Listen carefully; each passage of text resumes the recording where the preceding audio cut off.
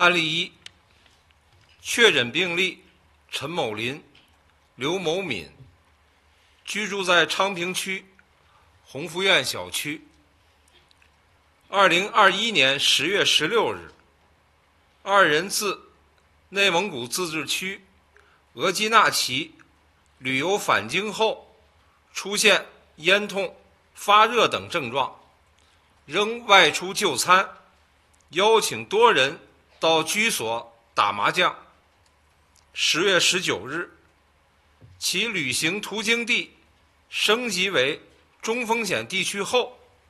二人。仍未向所在社区主动报告，未前往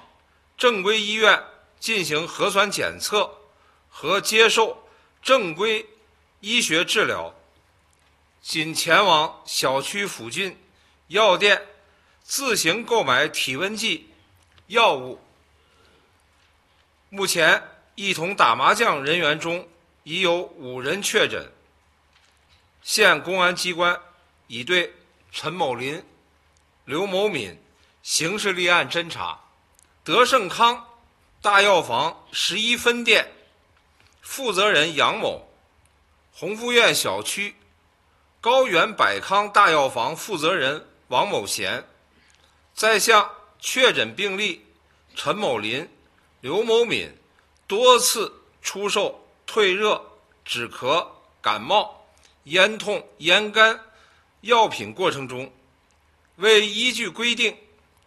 要求购买人进行健康宝